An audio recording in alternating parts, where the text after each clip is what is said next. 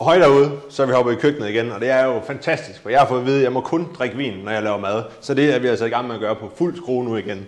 Og i dag, der skal vi lave rester af sådan en... Øh, skat, vi skal have rester i morgen, så bliver man sådan, åh nej, det gider jeg ikke. Men med den her ret her, så er man altså helt heroppe af evig eneste gang, hun siger, skat, nu er det i morgen, vi skal have rester.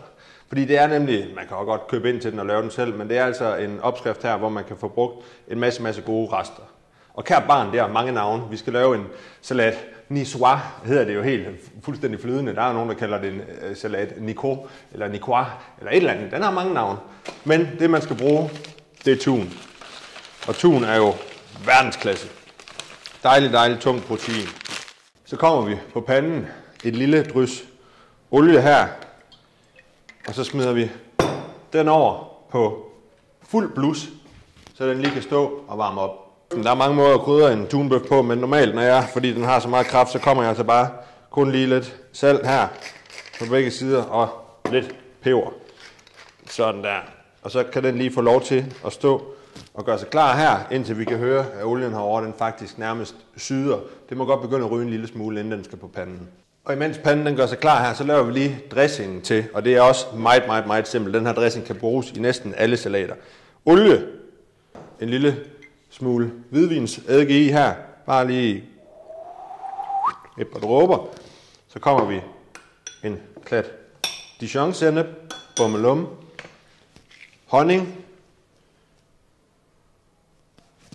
og salt og peber.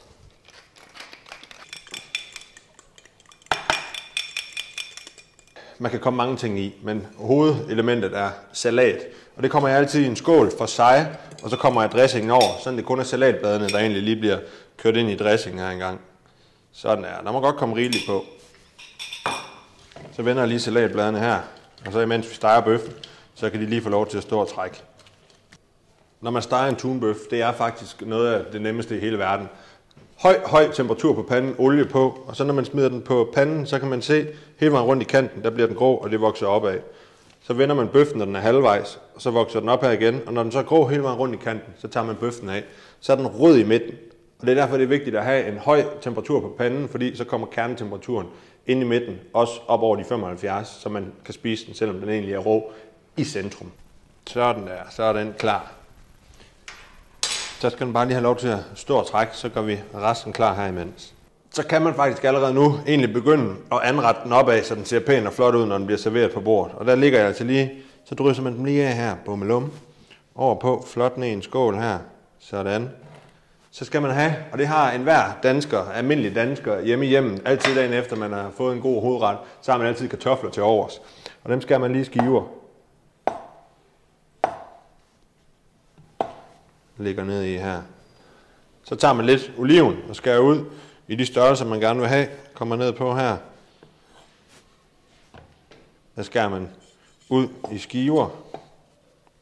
Og prøv lige at se, læg mærke til, hvordan den ser ud indeni. Lægger over på salaten her engang. Så tager jeg lige en lille smule af dressing, bare lige over tunen her.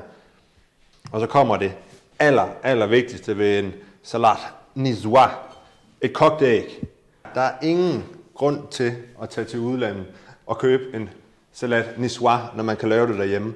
Og tunen og æggen, det hele, det kan du egentlig have kogt og stegt dagen inden. Det gør ikke noget, tunen den er kold, det gør ikke noget, ægget det er koldt. Så det her, det er altså en verdensklasse måde at bruge sine rester på. Velkommen. Ja tak.